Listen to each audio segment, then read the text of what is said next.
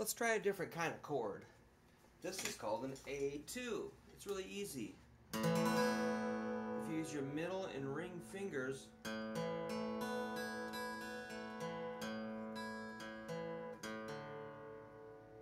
it's a really poppy, happy sound.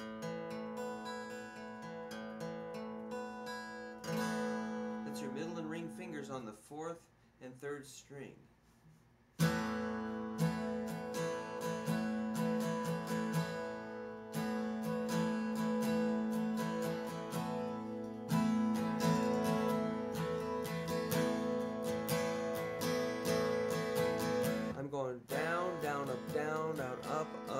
Down, up, down, up, down, down, up, down, down, up, up, up, down, up, down, up, down, down, up, down.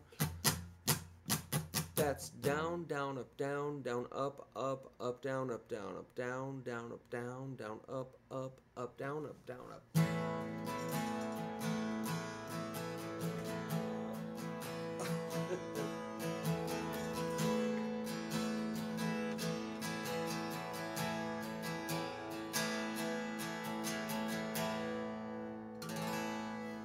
That's a nice sound for practicing. We're just talking about practicing and exercises and drills, just getting a taste of the sound of guitar. A2. It's a pretty sound. If you hit it one string at a time, you might even hear if you're out of tune.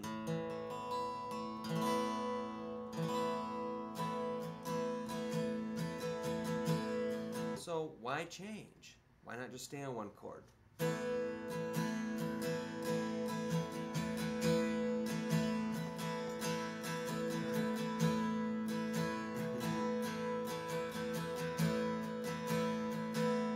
Okay, let's switch. Let's do another cool sounding chord. Let's do C major 7.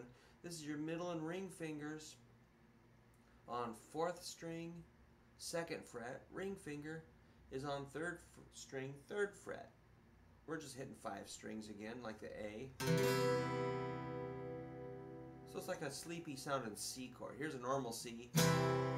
Pretty peppy, then we kind of mellow it out. Make it major 7. Now watch how you can go from A2 to C major 7. It's A2,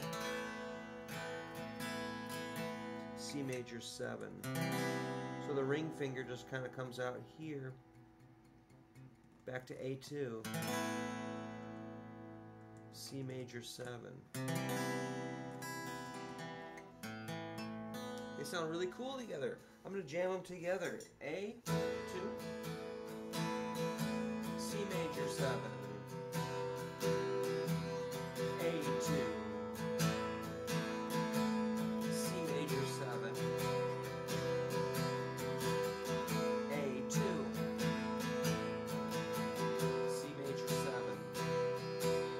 Get good at A2, C major 7. At your own speed, but I want you to work on that.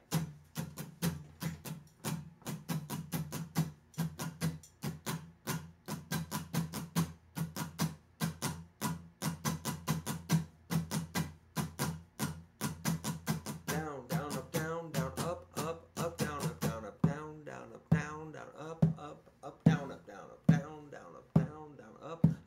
up, down, up, down, up.